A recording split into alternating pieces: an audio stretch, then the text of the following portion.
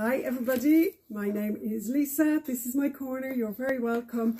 And in here is a safe place to talk about art, to talk about materials, to talk about books, to talk about whatever I like because I run this tiny universe. So I've sort of been making a list of new things I've bought, some books I've bought, and some stuff that I'm never buying again. And I also owe somebody an enormous apology. But that's a little bit further down the line. So if you like the drama, stay tuned. Okay, so today I'm going to start with what I have bought. So first out of the traps is this. Bit big, isn't it? It's it's not a deck chair, I promise you. It's a table easel, an easel for one's tabletop. And it was £15 from the works. I've been looking at this for a while. Let's face it, this is cheap as chips. This is a right old bit of plywood, some glue, spit and a prayer and I hope it all stays together. It's so flimsy.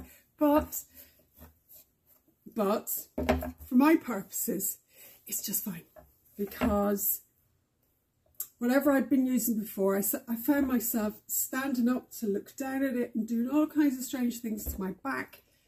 So it was only £15, if I've said that before, I'll say it again.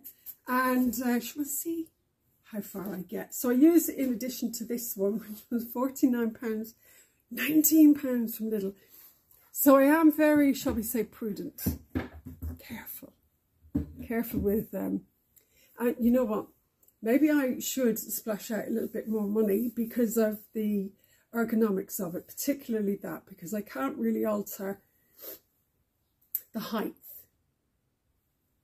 I'll put it on my list of things to think about. We'll see how things go.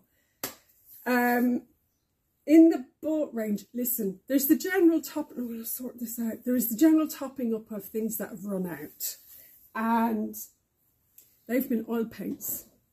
I have been falling back in love with oil paints. Now there's something like down here. Yes. I replaced, yes, I replaced a couple of colours and I just thought, let's see another brand. Let's, let's test run it and see what it looks like. So it's Van Gogh. I think this is by Royal Talens. Yes, it is. It's Royal Talens. It's their sap green. I have another one. I inadvertently bought another alizarin crimson permanent. Madder lake deep. Isn't madder? Rose madder is a plant isn't it that they extract that red from that that crimsony red? I'll check. So i got these two. I think they were eight nine pounds each. They're about the same price as the Winsor Newton. That for a green has a lovely lovely opacity. It's very nice. It's nice and rich. So it's got three pluses. I think it, it's meant to be a little bit translucent. Listen, I'm not going to pretend that I understand all the hieroglyphics. I'm not. I'm just not that girl. But I found it very, really lovely pigment, nice and opaque. And again, but listen, the alizarin was slightly different from the Winsor Newton that I've been buying, that I have. It's deeper. You know, it's like a richer ruby, ruby red. So there's those. The more I use them, the more I report back that I like them. And I am really, really loving, loving the oils. It's been such a long time. But the thing of it is, because my, my little space here isn't well ventilated, using the terps, using all of that, the house stinks. I my my little respiratory tract can't handle it. So I suppose I'll confine it to those months that I can have all. I've got lots of windows here so I can ventilate quite happily and have the back door open. I don't want the house smelling like a, I don't know what to describe it as. I don't know if I've mentioned this stuff. It's Liquin, but fine detail. So it's like, I suppose, a thinner version of its Big Brother Liquin Original. So as it says on the tin, it's for fine detail. Yeah, look at that. Very, as opposed to this jelly consistency. Love it. Again, it increases, speeds up that drying time. I bought a Winsor Newton oil colour gloss. And, right, that's deceptively, look, that's deceptively water. It's not gloopy, but it does the trick. I did a painting for a friend and it and it sealed it beautifully. Again, but um, you have to work quick. Have to work quick. I'm going to have to, that's something we're going to have to work on is sealing and finishing oil paintings. See, I don't know whether it needed two coats or not, because kind of whacked it out, I just put one coat on it. So they, they were about £8. They're all about £8 each. These sizes suit me because uh, I do smaller. I don't do massive, enormous pieces. So that's just about right for me. It's a massive, massive blue bottle. Go away. I'll go for him. I will.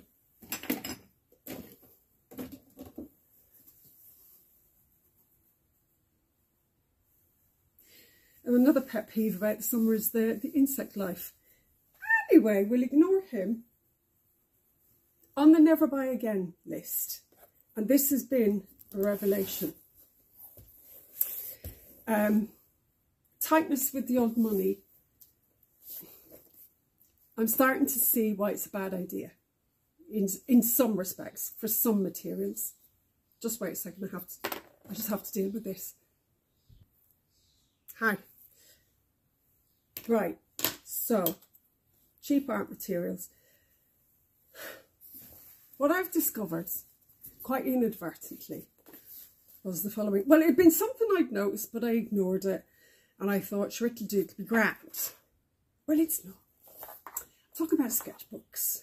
Talking about, this in particular is a very um, affordable from the works or somewhere like it. You know, their, is it their Crawford line that they do? So this was a sketchbook, hardback sketchbook that I started earlier in the year to do little studies and sketches in. Um, I think I've shown you these before, such as this and to and this. But then I've been, anyway, and pencil studies. He's back. I'm just going to ignore it, okay? Now, the other thing I ignored was the fact that the nib of a sharp pencil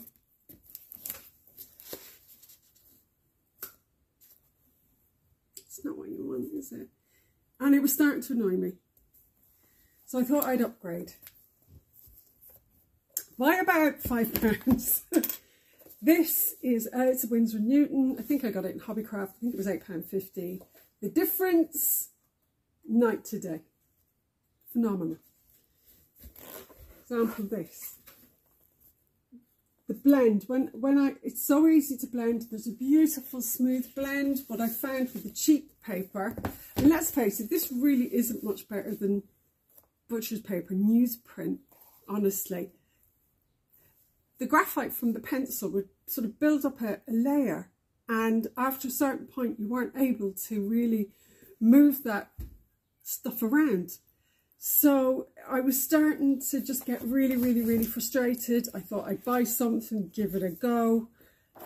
Um, and I don't regret it at all. So I'm never buying cheap sketchbooks to use. I'll, I'll use this, for instance, to just paste in little gouache sketches and things. I'm not going to toss this in the bin. There is stuff in it that I kind of like. But, like for instance, pleased with that. That's with a sepia fountain pen from, gosh, that's back in January actually. The sepia pen was from Pentel and I was following part of the New Masters Academy course. So it didn't really matter about the quality of the paper because they were just rough sketches. But this, yeah, game changer.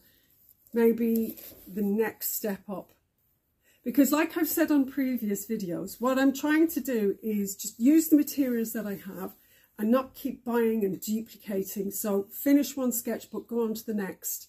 And, you know, it keeps, it, it keeps me focused on development, themes, perhaps areas that I need to work harder at, than, rather than have everything scattered to the four winds.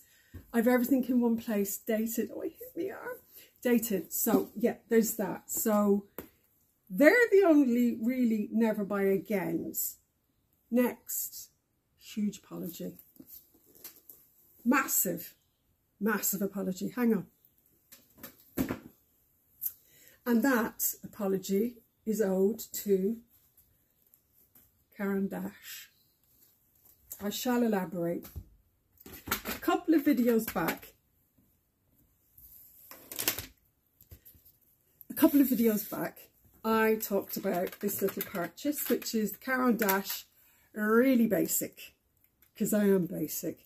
Uh, little one, two, three, I think there's six or seven in here. There's a blue missing. This. I wouldn't say I slated it or coated it, but it certainly left me feeling a bit, was, you know, what's the big deal? Don't get it. Not for me and said I, I couldn't see where it would fit in what I do. Scroll forwards a couple of months, total change of heart, total. And this is the for why. So here's the for why. Now, I don't know if I understand that much about oil pastels, but I had some rubbish ones basically kept for quite some time in all the wrong conditions. I suppose they harden. I suppose they lose their, their uh, richness. I shouldn't be in there. But I'd seen somebody doing oil pastel portraits and thought, wow, that looks luscious. Got these out. And it was like using a, a stone, basically, an old stone. However, inspiration struck. I thought, oh, let's see how they, do these work with these? Fabulous fabulous, beautiful, suddenly get it. It's a sudden revelation. So then, so then I did something else. Um, I saw this exercise.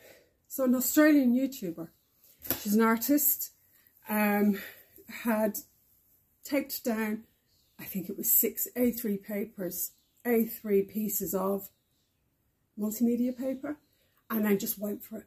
She threw everything at it. She was throwing acrylics, she had like a, it was such fun, squeezy bottles full of colour, just lashing it down and then laying layer upon layer. She sort of worked with the same, anyway, listen, I'll link it if I can find it. Huge fun, so I thought, I'll do that, that looks great. And I took as an inspiration Monet's lilies. Oh yeah, so once she'd done everything, took them all out and started to chop them up into squares and created, well listen, this was my, my version of it, okay? And they create this sort of abstracted gloriousness with layers and layers of colour.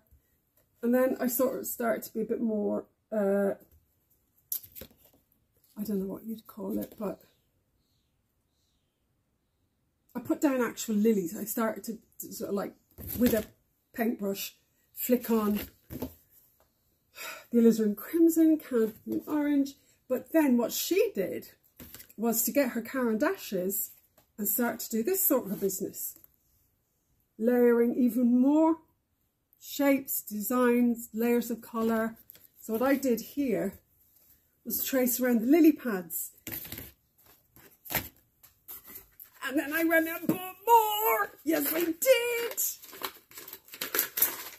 I bought two, two, four, six. I bought more than lovely jade greens and purples and periwinkles, some sepias, some fleshy ochres, dark grey, uh, yellows. Yeah. I went a bit, what, this, this was all 25 quid. And in my swatch book, yeah, they're in here somewhere. I'm so organised I actually get lost. Yeah. That was the colour palette that I chose. and I've loved them. I have fallen in love. My eyes have seen the light. They're creamy. They're so vibrant, particularly against that dark background. Background. They're just gorgeous. So I've started putting them into my my gouache landscapes. Listen, this fella hasn't been redeemed yet, the Etch a Sketch, but I'm going to use it. I'm going to finish it up as is my, my motto, use it up. So I've been starting to put the Caran d'Ache, just very, just tracing it, scratching it literally over the surface. So you know what? This really heavy paper comes into its own with that. Just lightly scratching it across to see, to get scumbled effect of sort of like sparkling light. And I've done it somewhere else in here as well. It's fascinating. More lilies. So, Caran d'Ache. My humblest apologies. These are a wonderful invention. Caran d'Ache Neocolor Aquarelle. What can I say? Thank you for investing them. And I'm sorry that I was such a smart ass and thought thought I knew it all because obviously I don't. So on the I'm not sure about them, never buy again list are these guys. Coloured markers. So I watch people as I do. I watch a lot of YouTube, a lot of art YouTube channels. And I see people doing breathtaking stuff with these.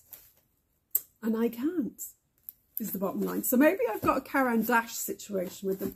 I just haven't found the moment for me and them to become one, to turn into bodies. Um, I think the skills you need for them are very, very unique. Um, I think it takes a lot of work. I have to remind myself now with YouTube art, art YouTubers they are infinitely more skilled. They have so much more experience with all, all sorts of different materials. And I've got to stop beating myself up and thinking, you should be able to do that because I can't, because I I don't know how to. I've never I've never had specific training, so what am I supposed to do? But I can but try. I think it may be slow progress with them, but like like I've said, like Caran d'Ache, maybe their moment will come But I love the effect. I love the way they look. Uh, Sarah Burns. I'm sure if you watch YouTube or YouTube, you'll know who Sarah Burns is. If not, I'll put I'll put a picture below. And she does landscapes of where she lives in Scotland. And she did a seascape using, uh, she just made it look effortless. It was sparkling. It was vibrant. It was just gorgeous. She seems to have a capacity to see colour and translate it back onto the page. Which seems to be a real trick. So these, I think they're £11. £11 on Amazon. We'll see how we go. And of course, if you don't use them, they run out and you have to replace them. So anyway, we'll see what happens. Art markers. Next. Books. I've only bought two. Um, the first one is Figure Drawing by Jake Spicer. I bought it on Kindle for two ninety nine. Now that might sound like a weird idea for an instruction book, but let me tell you, it was two ninety nine on Kindle. Um, but here's the thing, and, I, and I'll demonstrate with my next book as well. Actually, I've got a better thing. This I found in a charity shop. It's wonderful. It's an anatomy drawing for the artist. It's massive. It's really, really, it's very um, it's the right old faff when I'm using it. So it was like three pounds. What are you to do? You're not going to walk away from it. It's wonderful. On the Kindle, my Kindle, if you know anything about Kindle, so it sits here on my desk. I look at it, flick through it, I can expand, I can do, I love it. For me, it's much, much easier. Uh, I don't have a huge amount of space, so this fits in beautifully. Um, I can bookmark things, I can swizz around between pages, I love it. Anyway, this I think is a very, very new book. I think this was only published this year. Um, so I have decided figure drawing would be new avenue. It's a new skill. It's it I think it really enhances your understanding of, of looking at objects. What are you looking at? How to simplify an object, how to break it down. And that's what this book, the contents are basically the materials and then um, the different skills in drawing, mark making, using your pens and pencils and things like that. I'm still working my way through it. I haven't, I've only got it a few weeks. So um, it's, I'm familiarizing myself with it. Yeah, he talks about learning to see. And that's, that is really important. Seeing edges, seeing shapes, breaking things down, contrasting. Um, then light and shadow, putting the form on something, using light, using contrast. Uh, he also, there's a lot. There's freeing up exercises as well, which I which I always enjoy. So there's a lot in here. It's it's very detailed.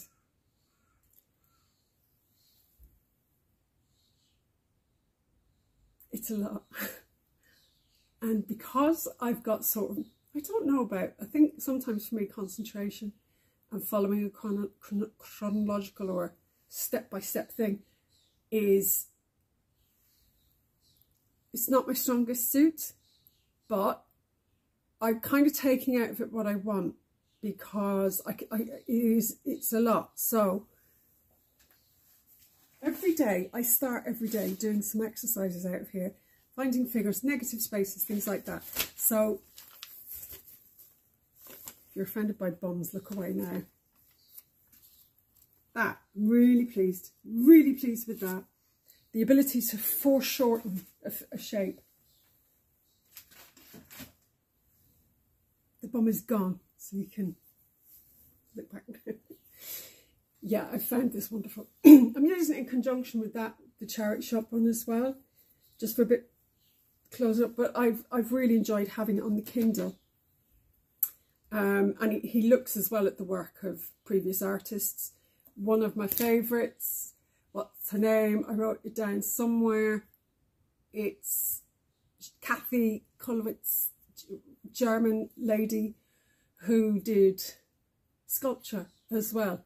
But her drawings, her life drawings are amazing. Very expressionistic. I'll put her name down below. Insert her name. And if you go and take a look at her things, she's mad. Her diaries actually as well. Her son died in the First World War and her diaries and then her sculptures based on the grief of a mother are so moving. But yeah. So it's all put in a context.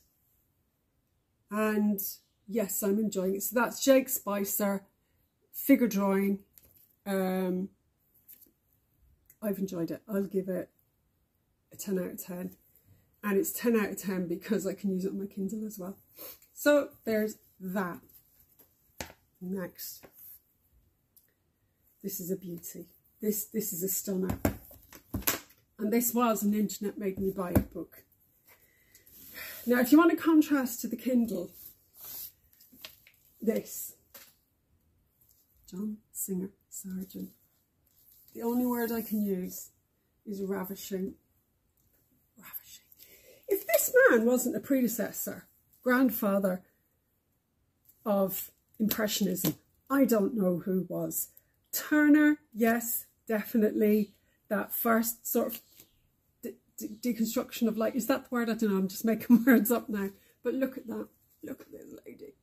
Oh my word. And her tiny Edwardian waist. And the colours just singing off the canvas. Um, and my own personal favourite, don't know, of course we all know the scandal of Madame X, the naughtiness. I don't think he knew what he was doing when he painted it, about how controversial it was. But basically, this to our modern eyes, that is nothing more than a, be a beautiful portrait of a woman in her prime, her skin glowing against a beautifully cut gown, uh, very self-possessed, very self-assured, gorgeous, bare-shouldered. I mean, what's the issue?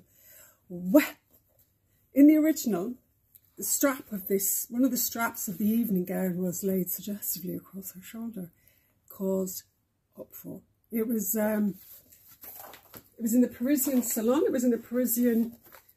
So it's Madame, Madame X. Her real name is Madame Pierre Gautreau. And she, I don't know if she was a society lady. Right, okay, look, that's the original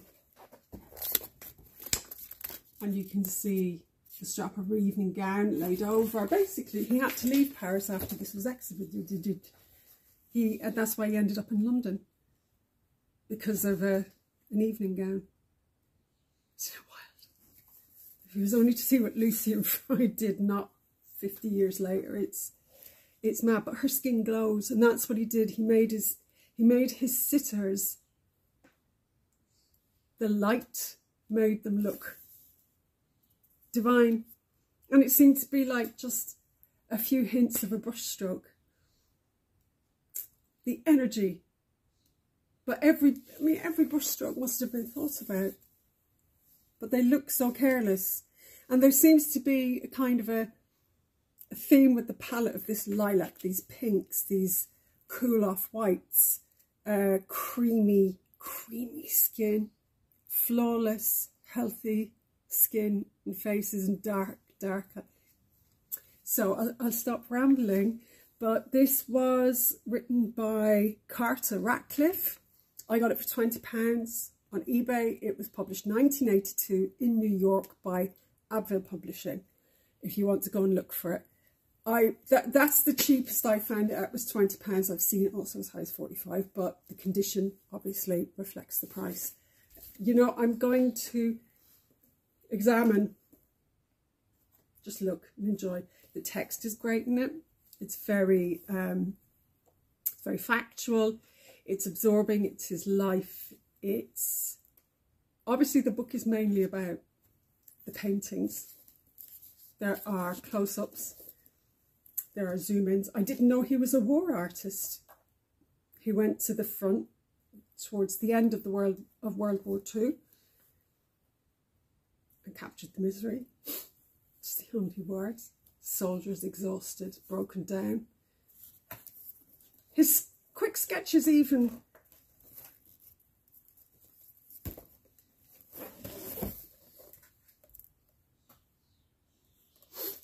Those were his quick sketches. Okay, so apart from Madame X, these two beauties, Carnation Lily, Lily Rose, Look at the lights, the flowers, the lanterns. It was twilight on, on a summer's evening. A romantic, idealised version of Edwardian England, where most children had rickets. uh, mother was on the gin, and everybody worked down a mine. Yes, he captured a particular... My camera is doing strange things, but never mind. So, to finish, John Singer Sargent, idealised Victorian Edwardian, late Victorian Edwardian society, beautiful ladies, beautiful mastery of colour and light. Um, I'm really enjoying it. That's everything from here, from the corner for this month. Um, if you're a new subscriber, you're very welcome. It's lovely to have you here. Tell your friends. Um, thank you for joining me. Do like, ring bells, notifications, leave me a comment. Do you like John? Who's your Who's your favourite painter? I'm sure people think this is um, Chocolate Box or whatever. He seems to be having some sort of a new... He's come, I think he's come back into vogue. I think there was a big exhibition at the Tate a couple of years ago before COVID. Um, and I'm sorry I didn't get to see it, but I'm sure there'll be something else on. So that's everything. Have a wonderful month. June is upon us. The birds are squabbling in the trees. The light's beautiful. Enjoy, enjoy. and uh, come back and see me again soon. So bye for now.